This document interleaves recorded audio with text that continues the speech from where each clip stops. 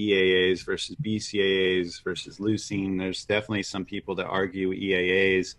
Um, I think it's like very it's there's so much the data is all over the place on like some of it looks at whole body uh, protein synthesis versus muscle protein synthesis which is two totally different things and you can't extrapolate that data like from whole body protein synthesis to muscle protein synthesis necessarily um, and then there's uh, kind of the refractory nature of of leucine that like you can't just take leucine all day long and be anabolic all day long uh, there's this refractory effect like where you can only spike it so often mm-hmm. and get benefit. So I would,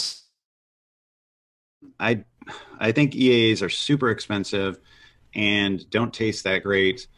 And I just don't see the value versus BCAAs or, or leucine. I think BCAAs or leucine are fine. I think spiking your meal with leucine can make sense in a pill. Like you can just take one capsule leucine or HMB or something like that. BCAAs could work if you're cutting. That's mm-hmm. again, I think the time that it might make sense is when you're on a deep cut and maybe calories matter and you don't want to eat as much protein. You're getting enough protein uh, to be anabolic, but you don't want to keep adding to calories. And you know the the cut is all the difference. So BCA yeah. is cool. Uh, the other time and when you say cutting, sense, just just to just cut, cutting fat. Cutting yes, fat. like on a diet or you're trying yeah, to cut body right. fat. Just to if someone is listening, they don't understand what that is. So furthering that would be like if you're on a deep fast and your and your fast goal isn't um like uh autophagy kind of detox yeah autophagy yeah. detox etc mm-hmm. but your your fast goal is to lose fat faster being a calorie um, yeah being in a caloric deficit, yeah, exactly. Then mm-hmm. BCAs would would make sense again, maybe on a fast, and you may maintain more lean body mass. I mean, BHB, beta hydroxybutyrate from elevated ketones, has been shown to be anti-catabolic, mm-hmm. but the BCAs could augment that because at some point you're just in a deep enough caloric deficit where no matter like you're actually going to start using some muscle mass. So, mm-hmm.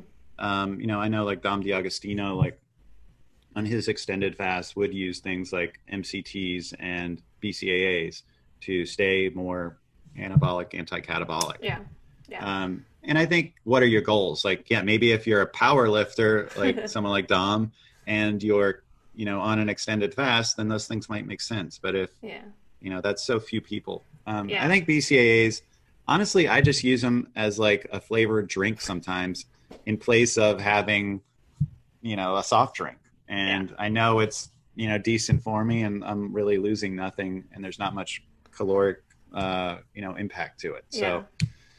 but like, no, I don't think you need to have it like you know during yeah. every workout and all that stuff. Yeah. I mean, everything you just said is literally exactly the three things that I tell. Like, because I've had actually in the last few months, I've had a bunch of clients ask me like, should I drink? Should I be drinking BCAAs? Like things like I'm sure you get that question a lot. And I tell mm-hmm. that's the three things I say. Like, I personally think just exactly what you said. If you are in a calorie deficit, potentially they can be beneficial. If you're cutting hard, like you said, if you're fasting and you're still trying to be as anabolic as possible, they can potentially be beneficial. And if you just like the way they taste, like literally those are the th- exact three things. We are, we have the same mind. Actually, I mean, we don't because yours is way more advanced than mine. No, no, no. But... we're, we're, we're on it. We're on it. yeah.